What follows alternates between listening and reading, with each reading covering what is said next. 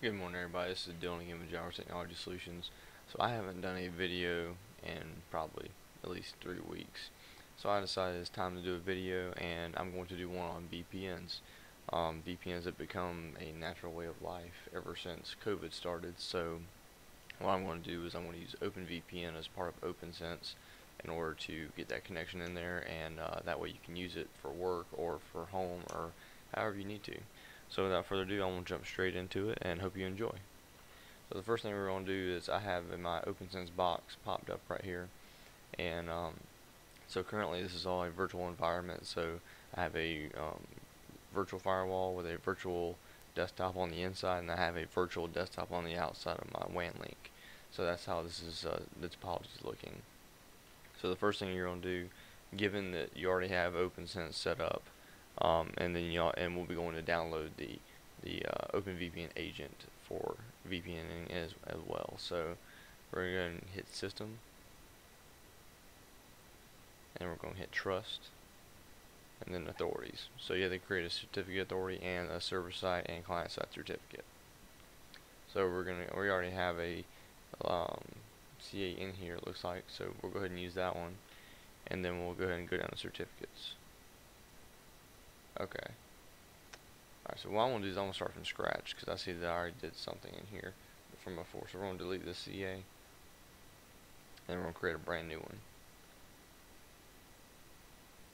Alright, so this is going to be lab CA like you just saw. And then we're going to do create a new one. Alright, so that can stay the same. We're going to change this to 4096. We're going to change the uh, digest algorithm to 512. Um, we can leave the the lifetime the same. And we're going to go down to United States. And then we're going to go ahead and fill out this information. So I'm going to be in Georgia, uh, in the city of Augusta, and uh, Jowers Technology Solutions.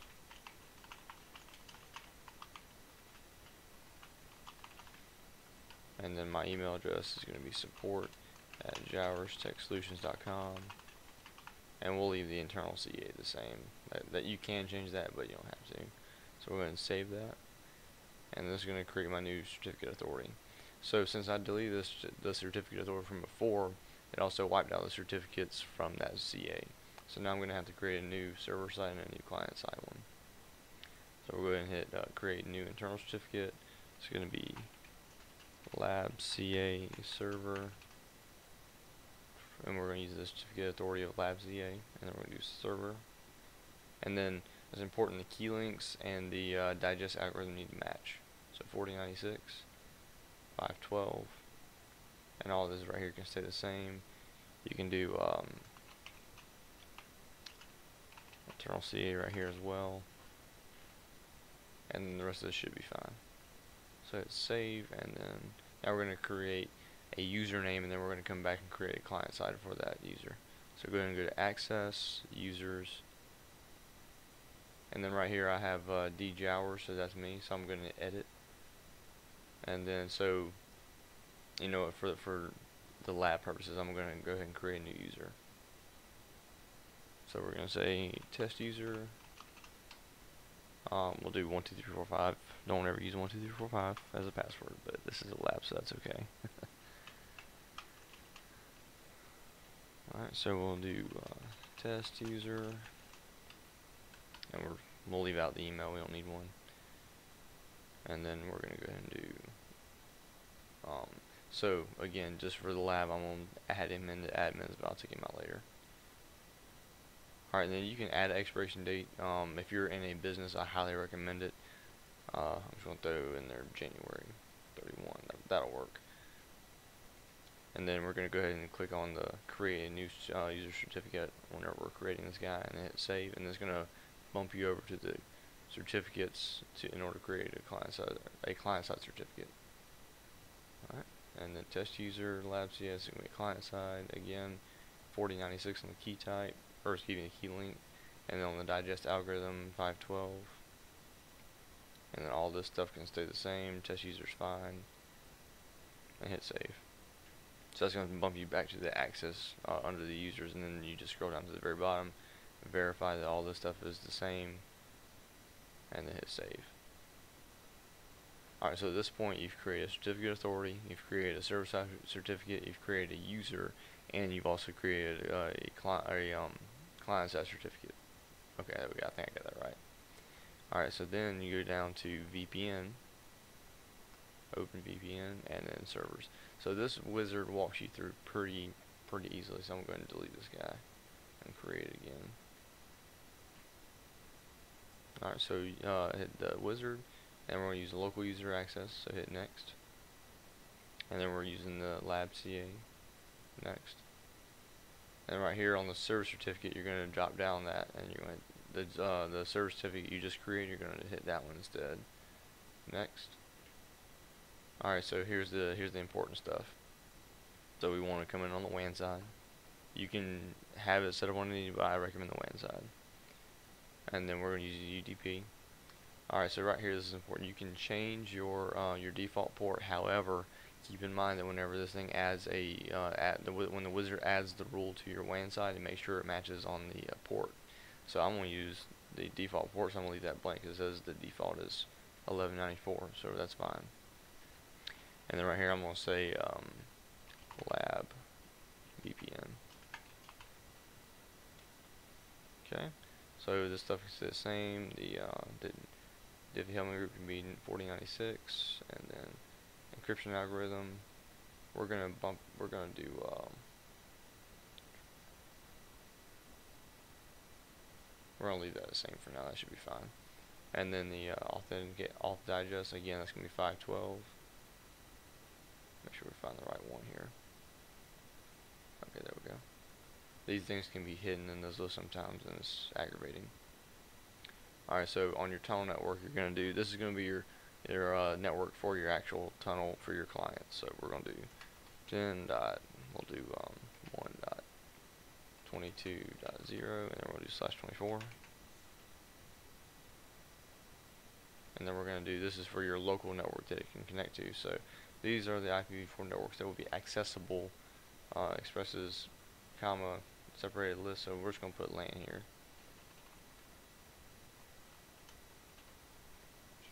in my case, my LAN is going to be, I'm to actually put the IP address. So 1 0 slash 24. Okay.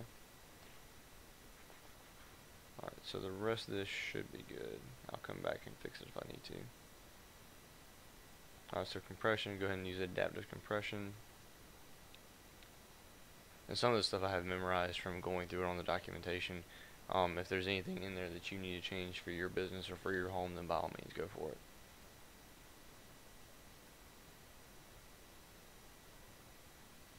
and then I'm just going to use 8.8.8 as the DNS. If you have an internal DNS, then use that instead. I believe all this, the rest of this stuff is good to go. I'll come back and change if I need to.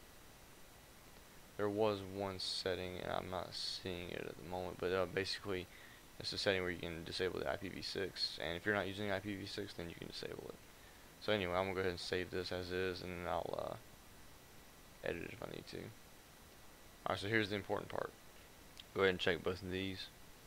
That way it'll add a firewall, a, a rule to your firewall on the WAN side, and will also allow traffic through your VPN to your internal network. So hit next, and then finish. And I think that's where I think we're good to go. So I'm going to pop back in here really quick to make sure that setting was disabled. Okay, so right here, disable IPv6. Go ahead and check that box and I think the rest of this is good to go. So we're going to hit save.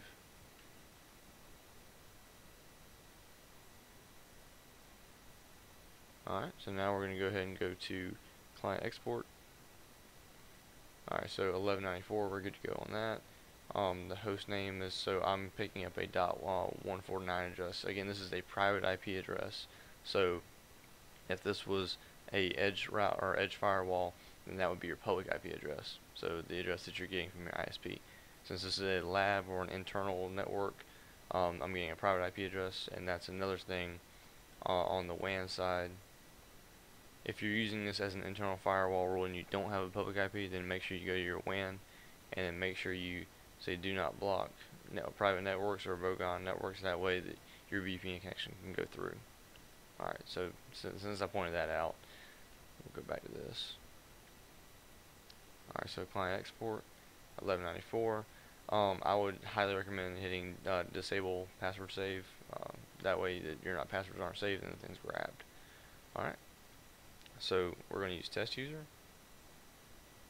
And we're going to hit save on that, and it's going to download. Alright, so here's your config file. So what I'm going to do now is I'm going to bounce to a machine that's outside the uh, WAN side of this of this network. And I'm also going to take this and copy it.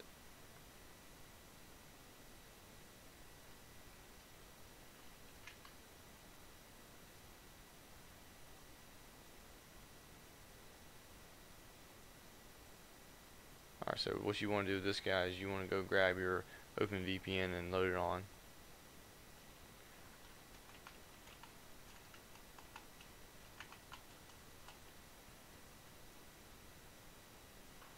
So I'm going to download the community edition.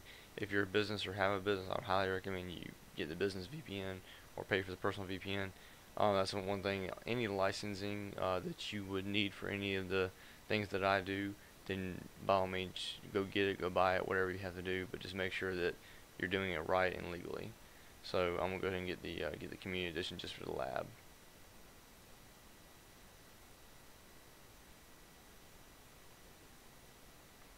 and I'm going to download the 64-bit uh, MSI installer.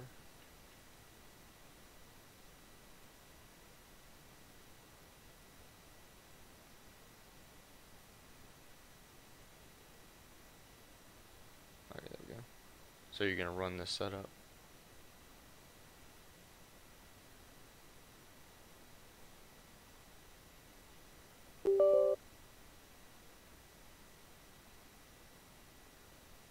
This might take just a second. So while this is doing that, I'm going to go ahead and open up a notepad and paste that uh, config into it.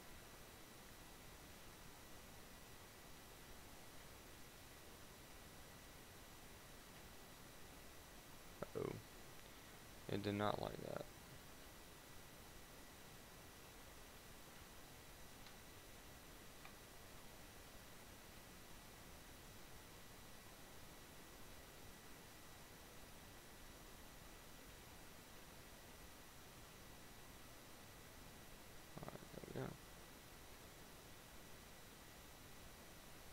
I'm to go grab that config again.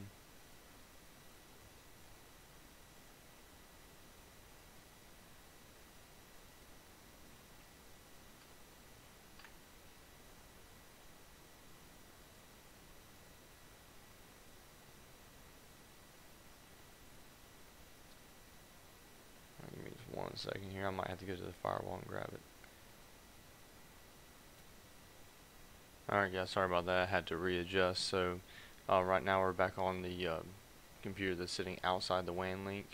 And so right here we have our VPN test user and then our OpenVPN. So after you've already loaded the OpenVPN software onto your computer, um, you'll, you'll have to open it again. So that'll be indicated by the little box down here. So what you'll do is right click on OpenVPN, import file, and then you'll navigate to wherever your file, your config file is, and then click on that and then hit open. It'll say import successful, and then from there you come down here again and then right click and hit connect. Alright, so now I'm going to do test user, my, which is my username, and then do one, two, three, four, five, and that's going to connect, and then it'll tell me I'm in there. Alright, so I'm successfully connected with that IP address. Alright, so here, here's how you know it does work uh, for sure. Is I'm going to go back to my uh, desktop that I was using. I'm going to go make sure the remote desktop services are enabled.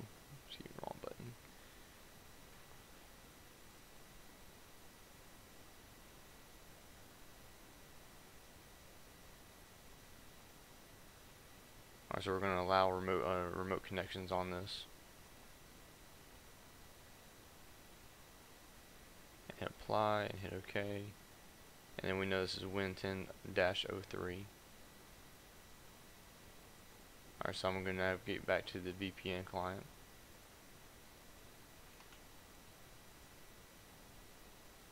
Alright, so keep in mind that I'm on a separate network um, than, uh, than the actual box I'm remoting into. Uh, I've already set this up several times for a couple businesses and I know for a fact that it works so we're going to go ahead and shoot for it and cross our fingers because sometimes IT just breaks. Okay, so that's not going to work. So let me go back to um, the internal box. I'm going to actually use the IP address. So this guy's got a 10.11.13, so let's go back. 10. Okay, here we go. So at this point I've got credentials, so uh, if we want to we can go back in there and do that. Um, let's go look at the actual credentials here.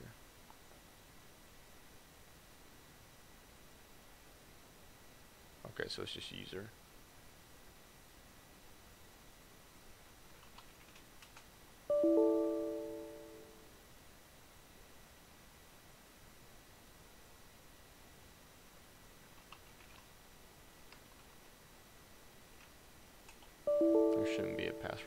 But uh, yeah. I'm going to go add a password to it really quick and see if that will make a difference.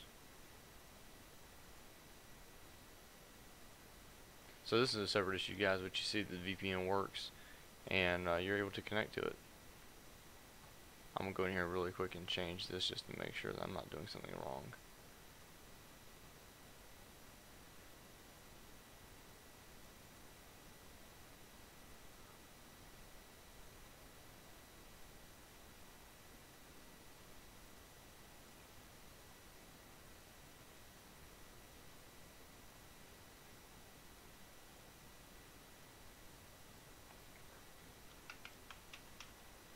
So we're just going to use 1, 2, 3, 4, 5, and hopefully doesn't give me a hard time about the password.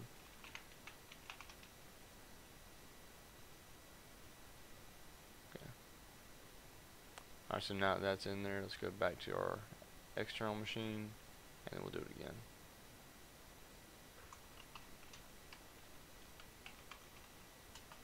Okay, so it needed a password.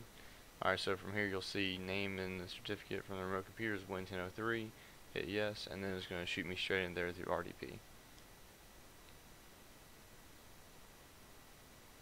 And now you see that I'm actually in, in the machine through the firewall. So guys, this is how to create uh, a VPN connection with OpenVPN along with OPNsense. Uh, I know this was a little chopped up uh, or, or, a little had to troubleshoot a little bit, but please uh, like the video, subscribe to my channel. I appreciate every bit of support I get. If anybody out there needs any help, uh, please by all means reach out to me. Uh, you can go to my website, jowerstechsolutions.com, or you can uh, call me or on on my phone or whatever. but anyway, thank y'all very much for the support, and y'all have a good one. Thanks.